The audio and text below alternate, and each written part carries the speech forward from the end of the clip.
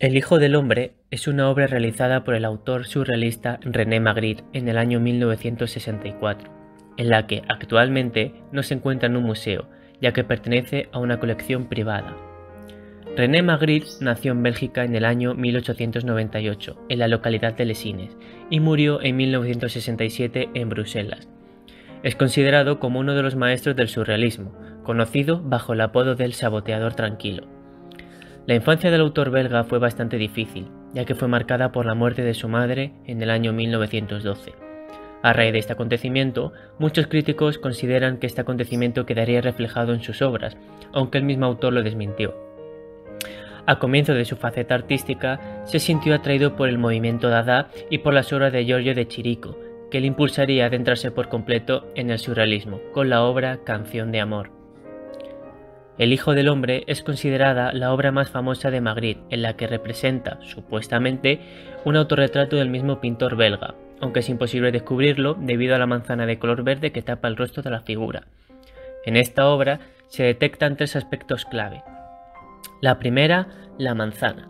El artista puede referirse con esta fruta al pecado de Adán y Eva, la tentación o la inmortalidad mediante la representación de la fruta como símbolo religioso, asociado al título de la obra haciendo así una alusión a Cristo, como el Padre del mismo hombre. En segundo tenemos al personaje misterioso, vestido con un traje y corbata roja, una vestimenta que a menudo suele llevar Magritte, pero como hemos dicho anteriormente, no sabemos a ciencia cierta si el personaje representa de verdad al autor. Y tercero, tenemos la ocultación del rostro. Es una tendencia que a menudo realizaba el artista en obras como Los amantes, El espíritu de aventura o La violación, para enmascarar la identidad del personaje, despertando así el interés del propio espectador. Debido a la fama y aceptación popular que tuvo el cuadro, fue parodiado en diferentes ocasiones. El pintor estadounidense Norman Rockwell hizo una parodia del cuadro, que fue titulada Mr. Apple. También en el episodio Three House of Horror 4 de Los Simpsons aparece el cuadro, pero con Bart como protagonista, y también aparece la película El secreto de Thomas Crown, recreando la vestimenta del personaje del cuadro.